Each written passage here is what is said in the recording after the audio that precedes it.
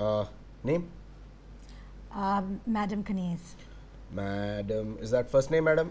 Yes, first name is Madam, second name Kaneez. Okay. Uh, passports, please. Um, here you go. Ma'am, this is not uh, Indian This passport. is my, it's a passport. It's a passport. It is not Indian It passport. is a South African passport. It's South African. Yes. Uh, can you tell me why I've been called to the police station? Madam, I'm calling you here for uh, a simple question about what is improv. Oh, you want to know what improv is? Yes, So you've kept me here for 28 hours to ask me what improv is. Madam, you are not. Improv is illegal in this country.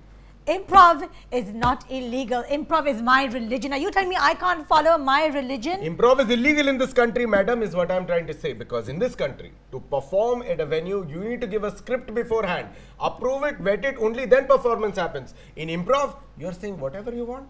That is illegal in this country. Well, then half the politicians' speeches should be illegal.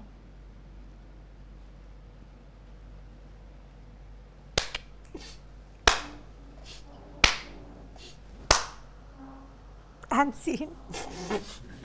we go to another one for the opening. Yeah. Anyway, this won't make it.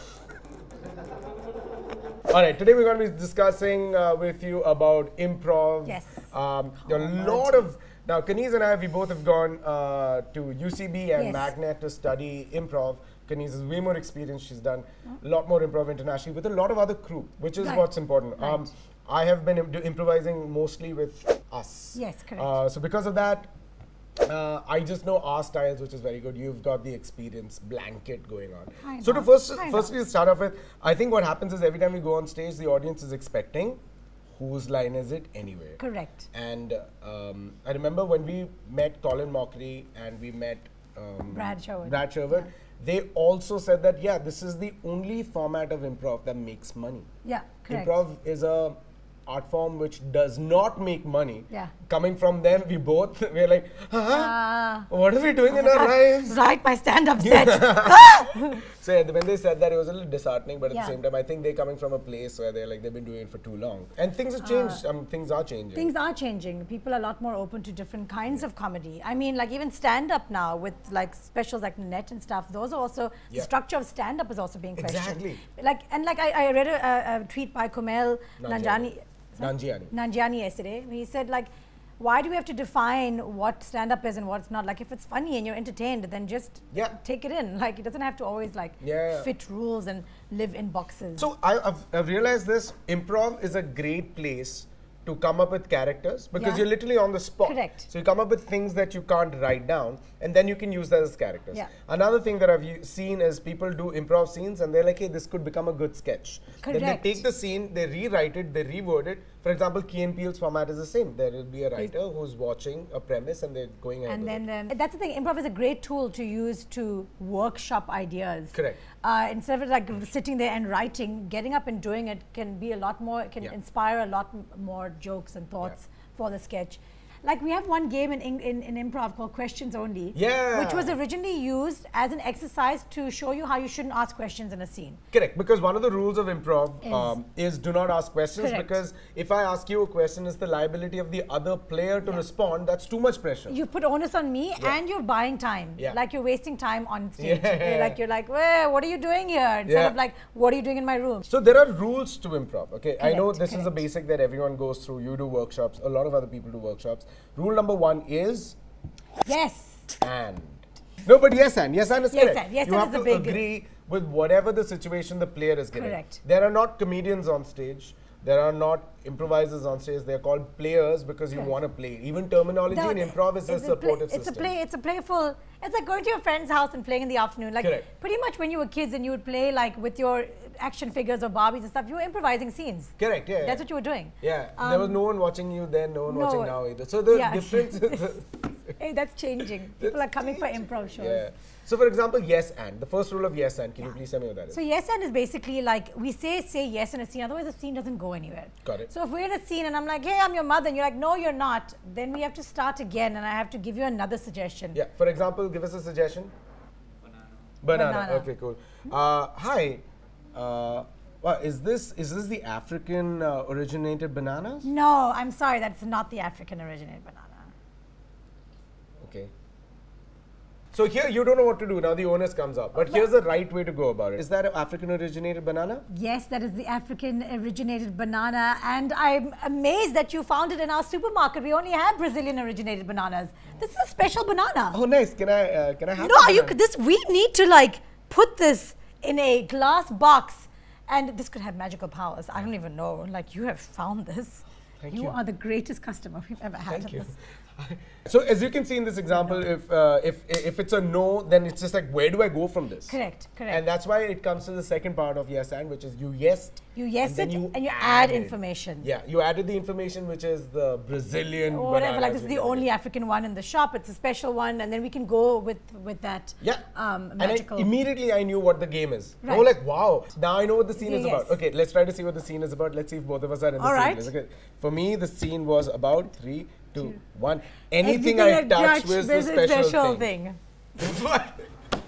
You lie! You lied to me! What do you think the scene could have gone ahead? You know that's so funny, Abish, because you know we are, have we are, have two different minds. Like Yeah. we work differently. Yeah. For me, I'm all about an improv. I love discovering. I don't think uh, like like too far ahead. Right. So I just I love discovering, which is why I love being in like which is why it's important to have team members like you, Right. because different people bring different things. So while you're like thinking maybe two steps ahead, Hmm. I'm enjoying playing this fantastical banana and Right, and right, then maybe you come up with an idea of like now everything I touch is uh, magical. Any fruit I touch becomes a magical fruit. Correct. Um, meanwhile, I was just enjoying that moment of oh my god, we'd found a magical fruit. Correct. That's why the yes and works so well because you are yesing it because I came up with the first suggestion. And then you yes, yes it, you and anded it. Then you yes and it by Now I saying yes now anded it. everything I touch becomes magical. Correct. And then I yes and that, and then the, the scene moves forward. As soon as you say no, we, the scene stops and we have to start again. Correct. That's the only thing. Now, that's a basic rule of improv because it comes, uh, it's tough for a lot of people because sometimes in nervous energy, Yeah. saying no is funnier, you get a laugh, but the scene doesn't go forward. Yeah. The rule in improv is to not crack a joke, play the scene to the most truest manner That possible so that the exploration is more fantastical even for the audience. Like, oh my god, did they come up with it all together? And that laughter is so different to like a small joke laughter. Like when people make like crack small jokes, it's like ha ha ha. But like when we create this improv scene and Hmm. the audience is like just taken aback by how we got there, the laughter comes from like the belly. I've noticed this. It's like a belly laughter. And it's not as frequent, Yeah. but it's a fuller laughter. fuller laughter Yeah. that comes in. Uh, when we were discovering about which schools to go and study, there's something called the IO and the Second City. Correct. Right now, IO and Second City are from Chicago. They have long form improv, which where they give focus to discovery. As opposed to Upright Citizens Brigade, where they give game, game, game, yeah, game. find the game, play the game, Yeah. end the scene. So let's explain that a little bit more. What is a long form discovery? Yeah. Uh, and what is a game? For, So yeah, so I haven't been to Second City and IO. I don't know what they do. I went to Magnet Theatre in the U.S. Uh, in the, in New York, and they were exploring. They did more of like discovery in the scene and not Okay. just find the game and play the game. Correct, correct, correct. Um, I definitely tend towards more towards that kind of improv, which you the saw in long like form discovery. the discovery, which is how we just saw the, with the banana. I didn't think of the game. I Right. wasn't just enjoying discovering what this banana was. And I was Was thinking of the, game. games. The analogy that I usually give for a team of improvisers is your your brain wheel is spinning, my brain wheel is spinning. Everyone's Yeah. is spinning separately, but we're keeping an eye. Okay, Right. I'm gonna match yours. I'm- Yeah. We're gonna match yours, and then it becomes tick tock, tick Correct. tock, That's a tick beautiful- tock, tick. We're like, oh, it's the same. Your BPM is different. Mine BPM is different. we We, call come it we call it one mind. We try to create one mind, Yeah, like correct. that, we're being on the same page. And then we had exercises where we try to sync people up before a show, so we get Yeah. on the same page. So it's not like five different energies trying to do Correct. different things. What is your best definition of what a game is in a in, in an improv game? By the way, does Yeah. not mean uh, hey you're playing a game. The technical term for a game is Whenever when you I- get your first laugh, Hmm. that's when you know that's probably what the game is. When you get your first laugh, that should make your brain go like, "What did I just do?" Hmm. Because the audience recognized it as something funny. Let me do that again three or four times, or whatever, how many ever times. Yeah. uh, When you get the to the first laugh is your first indication that indication that the game something is. has worked. So example, that is what a game is. It's to figure out the first laugh that comes from the audience of like, this is weird, then- this is funny, Yeah, this is and now let's heighten it. And usually, usually it's played in beats of like three. Yeah. Um, and that's a very UCB approach to improv. Is Correct. finding that game and playing it out three times, and then the third time, it's the large, it's the biggest one and scene, Scene, you and you cut it there. Correct. Um, while in magnets, like sometimes we would play a whole scene and finish, have a, a beginning, middle, and end, and then we'll call and scene. Correct, correct, Uh, correct. so there are different ways of playing out improv. So that is what a game is. And I remember I had the toughest time to come to a game. Remember that within three lines you had to figure the game. And I was like, I am Yeah, terrible yeah, yeah, at we this. will. Like, but I've noticed that a lot of stand-up comedians get that without realizing. Hmm. They understand the idea of finding something that's funny and then heightening it three Heightening it, times. yeah. So I noticed that like uh, the Improv All Stars has come out on Amazon Prime Video. yeah. Link in the description. Below. link in the description. um, I noticed like there were some comedians in that show who had never done improv before, but they were naturally finding the game in scenes. Yeah. And I was like, And escalating. and then escalating because it. it is a comedy writing technique. Everything comes instinctive. Yeah. People then put it in a book.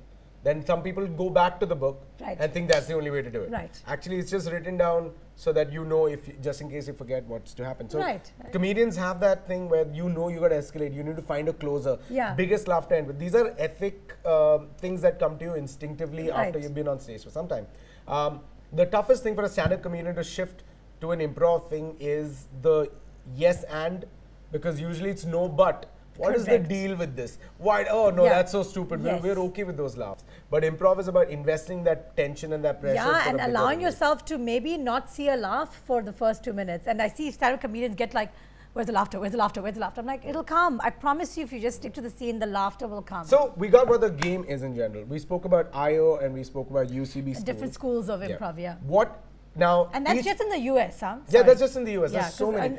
I, I don't want to just generalize South Sure, Americans, sure. but I know like one of my um, Argentinian friends, uh, and I saw some Brazilians also like follow this kind of format of they do a lot of dream sequences. What's a dream so very surreal kind of stuff. So it's not like like we are in a coffee shop, want some coffee? Yes, spilled the coffee. Oh no, you're the girl who spills everything. But it's very like you'll just see them go into dream sequences, a very inception-y type. Um, and a lot of their, I, I noticed that was very like, it wasn't like fast and cut and cut to the next scene and pacey and it was very like fluid, Yeah. high, way more fluid than I've ever seen any improv being done. Yeah.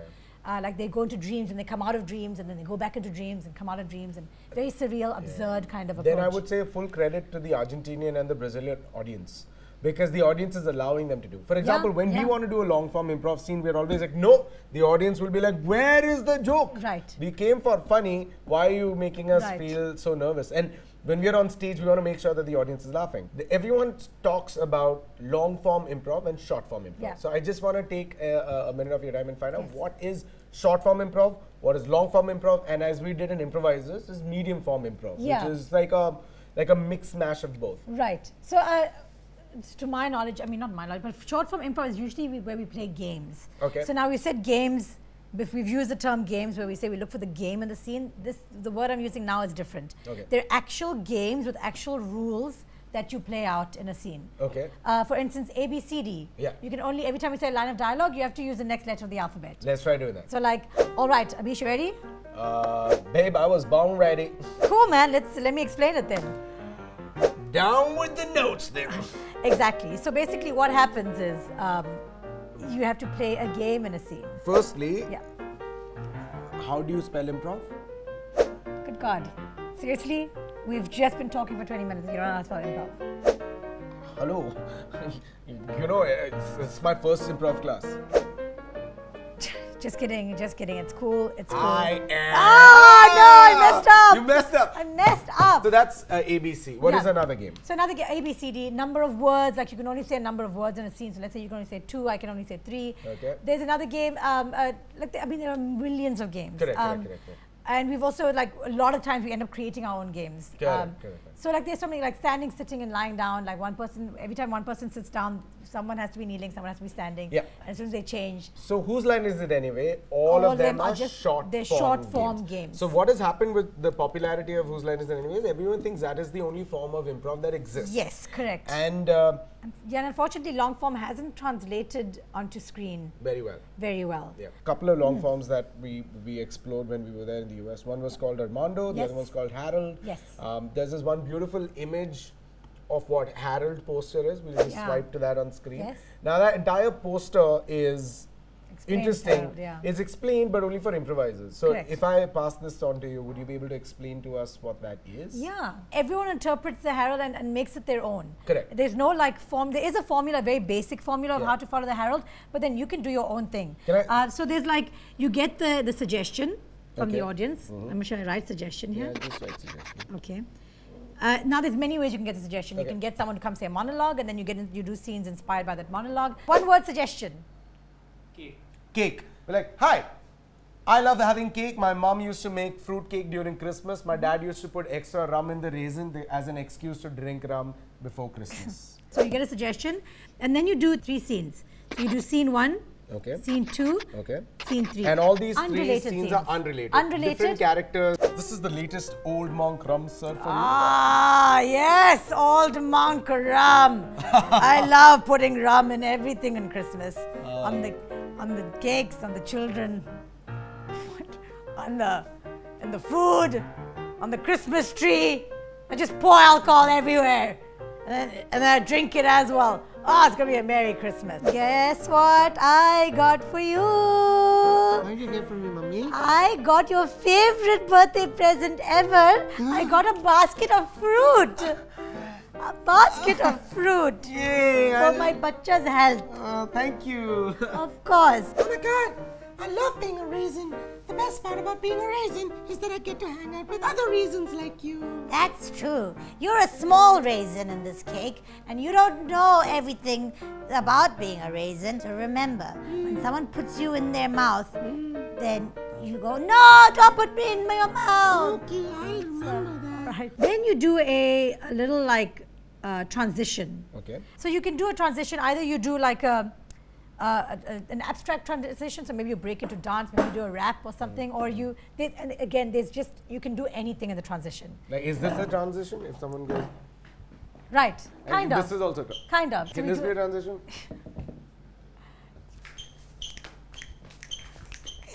uh, so yeah, so we do a transition, Huh. um, and then we do the second beat Of scene number one. of scene number one. Ah, Merry Christmas! Come, here, little child. Thank you. Ah, that's Wow. right. Alcohol on the children. What? Come on, who That's wants alcohol on them? That's right, little snarky, boyky, boy. Ah. Oh, your uh, your your son is really really unwell, and he's like, my mother is getting me something Of because course, she it's always very. helps I me. the always bring things that are very useful for my son. My sweetheart, are you? Where's my son? Oh, there you are.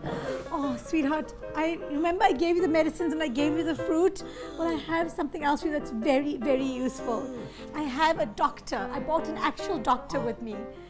All right, that's your gift. All right. Oh no! Help! I'm being eaten. Help me, small raisin. Oh, that's what you're gonna say. Help me! Help me. Help! Oh, oh, I get it. Okay, and then comes what? Another transition. So we This do a third beat, which is usually f- shorter, faster. We really heighten that character. We really we, we end that story. Oh no! Everyone covered in alcohol. Fantastic! I'm just gonna light a cigarette. Ah, sorry, son, for disturbing you. I know you're having sex, but I got something useful. A condom. Um, no, no. Right now, put it on, my beta. Good, very pretty. Hello? I'm alone. Ten years later. It's your mother raisin. I got you something very useful, a doctor raisin. A Harold show is not for an hour, it's maximum 30 minutes. Correct. That's why there you have two Harold teams performing every night. Yeah. Uh, for an hour long show. So this is what we call This is the basic long form, like Harold. the Harold. The Harold is the original long form format. Correct. So, by the way, thank you for like delving into long form because like everyone does know short form from whose lines anyway, and long form is something we want to really try and we want audiences to like Hmm. kind of be open to receiving, and we're going to be trying that now. Um, I noticed, uh, you know, like improv is taking form as a inshallah as a mainstream form of improv especially with like our show coming out on right, amazon right. something from nothing on the, uh, uh, the improvisers and the all stars improv's game night like people are now these platforms are allowing people to see what improv is all about Yeah. it was amazing, Abish. I did a show the other day. We did a show over here. And uh, I came up and I was hosting and I said, How many people know what improv is? And everyone cheered. And I said, Does anyone not know what it is? Hmm. And no one in my 13 years of doing improv, Right. this is the first time I went out in the audience and everybody over there knew what improv was, and I didn't have to explain it. That's awesome. Uh, so it's good that it's also gaining kind of uh, some traction and people Yeah. understanding it, which means now we get to try more forms and the long Correct. formats of, Correct. of um, Because it is the great equalizer by the end of it, right? The idea is that everyone knows what it is, but what else is there? What else is there? the there? audience's hunger to like what else is there Right. might help us explore long form. Because the stand-up audience is like impress us, the improv audience is like we're here with you. we're here with you. And that's such a nice, warm feeling. It is every nice- time we switch, every time I have to switch from being a stand-up comedian, I have to switch to an improv- improviser. I'll have to be like, they're all here. This is love. Yeah, it, it, it is nice. There, there's a lot less defense that Yeah. you don't have. You don't need that much defense when you go on stage. It's like, we, like as much as you don't know what's going to happen, we also don't know what's going to happen, and, and we've all understood that no one knows what's going to happen. Because when we are walking on that tightrope, so is the audience. Yeah. The audience wants you to balance yourself out. Yeah. I've but when you noticed fail, they're like, oh, it doesn't matter. Yeah. But if you succeed, it's a much bigger, uh, bellyful applause. correct, correct. Yeah. Oh man, man here. Also, check out her. Vomits in improv- your mouth when you she's done two improv specials on Amazon Prime Video. One is The Improvisers, uh, Something from Nothing. Yes. And uh, Improv All Stars, which is also live now. So. Uh, a lot of I get millions of views on Journey of a Joke, obviously. Like you Yeah, know. yeah, exactly, Uh, so, get ready for it being blasted on Amazon. Well, I, whew, I'm ready. All right. I'm ready. I'm ready. I am ready to. Okay, I gotta go. I got a uh, sold out uh, stand up comedy show right now, which I need to Oh, prepare wow. for. Okay. It's because, you know. Well, I've got a stand. I've got a sold out improv show that I don't have to prepare for. Ah. Everything's made up on the spot. Transition.